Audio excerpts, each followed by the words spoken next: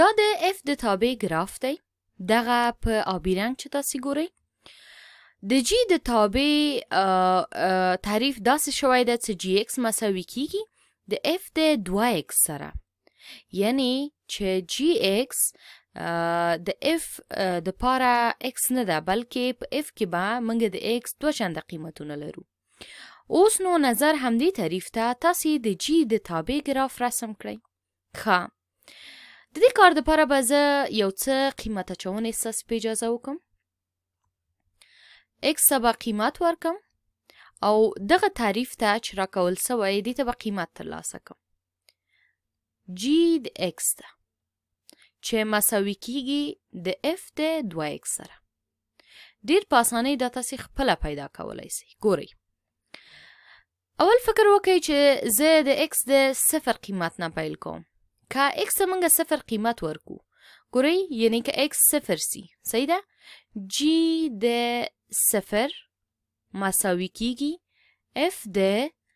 دوه ضرب د صفر سره نو اف د صفر سره دا په دې معنی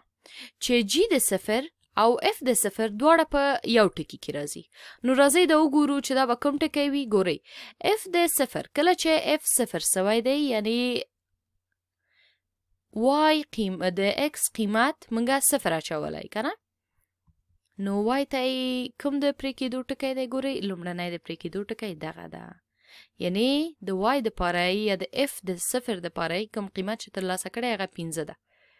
نو دا مساوي کېږي د 15 سره بیا راځو بیا راځو مثلا زه د مثبت دوو قیمت اچوم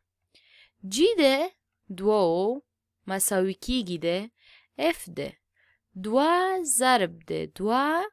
مساوي کېږي اف د څلورو سره نو د جی د دوه سرنوشت به اف د څلور ټاکي دا په دې معنی ده چې کوم قیمت چې د اف د څلورو د پاره دی کوم ټکی چې اف د څلور دی هغه به د جی د دوه د پاره وي ګورئ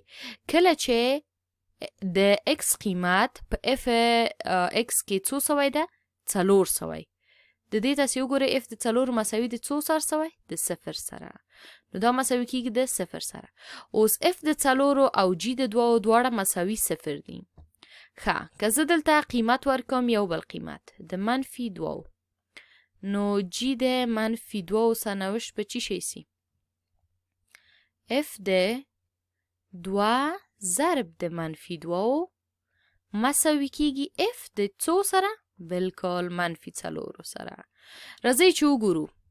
دلته په دې ګراف کې کله چې قیمت د ایکس منفي څلور سوی نو وای ته موږ چې لا سره وړي بیا هم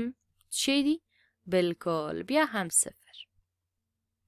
نو اوس یو څه ټکي موږ دلته لاس سره وړي دي چې هغه به بې جنجاله څه کوو موږ دلته په نښه کوو همداسې ځینې نور ټکي هم تاسو کولای شئ چې خپله قیمت گذاری وکړئ خپل یې واچوي او په دې توګه خپل دغه ګرافونه هم حل کوي ښه نو زه دلته دغه ټکي چې ما لاس سره وړي دي یو دغه ټکی و بل دا و صحیح ده او بل ټکی هم دغه ټکی و وبخښئ زما رسامي دومره هم ښه نه ده نو دا ټول من کولی سو چې سره یو ځای کو لکه داسې بیا هم وایم زما رسامي دومره ښه نه ده خو تاسو دغه ټکو ته پام وکړئ چې موږ څنګه لاس ته راوړو صحیح ده په دې توګه موږ د جی ایکس لپاره چې مساوي اف د 2 ایکس کیږي د لپاره موږ ګراف لاس ته راوړ اوس راځو یو بل مثال ته دلته بیا هم خبر دا ده چې دا د اف ایکس تابع ګراف دی او ویلي دي چې د جی د ایکس تابع ګراف په داسې حال کې رسم کړئ چې جی ایکس مساوي سي د ایکس پر دوه منفي څلور کل مربع منفي څلورو سره دلته ګورئ څه توپیر څه د جی ایکس او د اف ایکس د تابعګانو په منځ کې ده هغه دغه ده چې دلته ایکس خو په یوازې توګه ده خو دلته په جی ایکس کې دا ایکس پر دوه سوی دا په دې معنی ده چې موږ ویلی سو جی د ایکس صحیح ده مساوي کیږي اف د چی شي سره یعنی د ایکس قیمتونه په جی کې دوه چنده د چی شي دي د اف ایکس دي یا هم په اف ایکس کې قیمتونه د نظر جی ایکس ته نیمایي دي یا هم داسې ویلی سو چې جی ایکس مساوي کیږي اف د یو پر دوه ضرب د x سره نو زه کولای سم په دې کې یو څه قیمت اچونه وکم او ګراف د جی ایکس پیدا کم ښه x ته قیمت ورکوم او بیا ګورم چې یو پر دوه ضرب د x یا x پر دوه ته څه لاسه راځي او بالاخره g د x مساوي f د یو پر دوه x ته صحیح څه لاسته راځي ښه زه اول مثلا د څلورو قیمته چوم ګورئ که ایکس څلور سي نو یو پر دوه د ایکس چی کیږي بالکل دوه یعنی زه دلته اچولی سم چې جی د څلورو مساوي کیږي ګورئ دلته که د ایکس پر ځای زه د څلورو قیمت واچوم نو یو پر دوه ایکس څو کیږي او بالکل څلور نیمه یې کیږي او دا کیږي اف د دوو اف د دوو راځي چې وګورو څونه دی ښه که دلته اف د دوه وي د دې قیمت وګورئ دلته څه سوی ده صفر سوی ده نو دا مساوي کیږي د صفر سره یعنی جی د څلورو مساوي د اف د دوو سره ده چې دواړه مساوي صفر کیږي که زه اته قیمت واچوم نو دا کیږي څلور او جی د اتو صحیح ده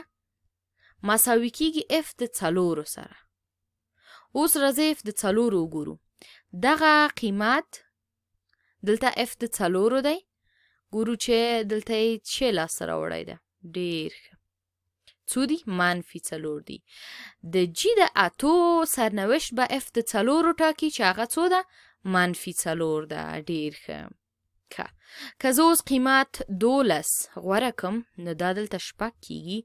او جی د دولسو مساوي کیږي اف د شپږو سره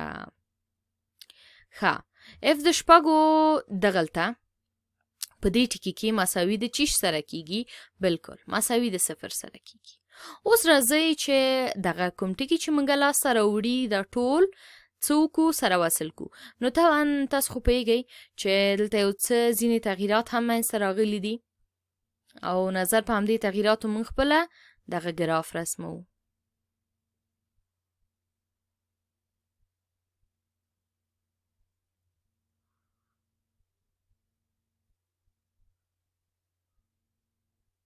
او دا ګراف همداسې پورته ځي تاسو ګورئ یو څه تغییرات دلته منځته راغله کنه دلته د دې دغه منځنۍ ټکی چې څلور و دا اتو ته ولاړ کنه نو مثلا د دې دغه لومړنی ټکی د ایکس د محور سره چې و دا دوه دا څلورو ته لاړ.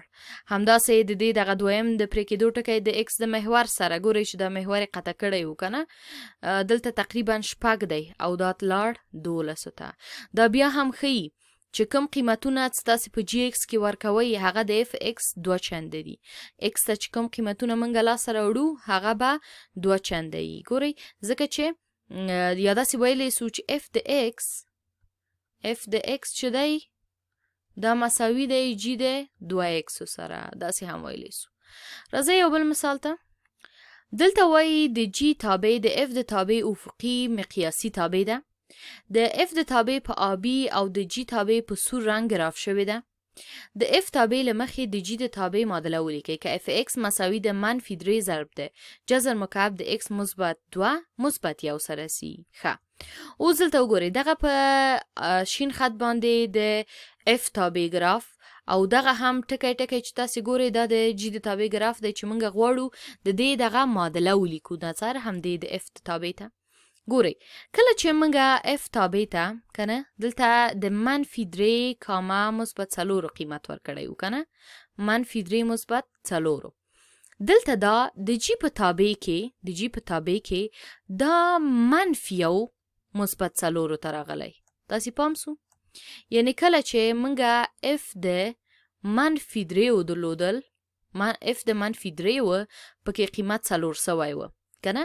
اف د منفي درې مساوي سوی د څلور سره خو اوس دا مساوي ده د چیش سره د جی د کوم قیمت سره جی کوم قیمت اغیستی ده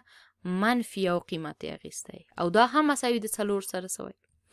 دلته تاسو ګورئ د اف ایکس تابع چې دا اف د شپږ سوی دلته دلته ګورئ د ایکس قیمت شپږ دی او دلته هم ممکن پنځه وي صحیح ده نو دلته تاسو ګورئ چې دا څومره د خو ترغلی ده صفر ته نږدې سوی د شپږو نه دا دوو ترغلی دغلته دا د جی ایکس قیمت نو وایو چې اف د شپږو مساوي سوی ځکه چې دواړه قیمتونه په دغه ساحه کې سره یو ځای کیږي پنځه کیږي دواړه پنځه دي مساوي جی د دوو سره کیږي تاسو اوس دا دواړه توپیرونه مطالعه کړئ د منفي دریو نه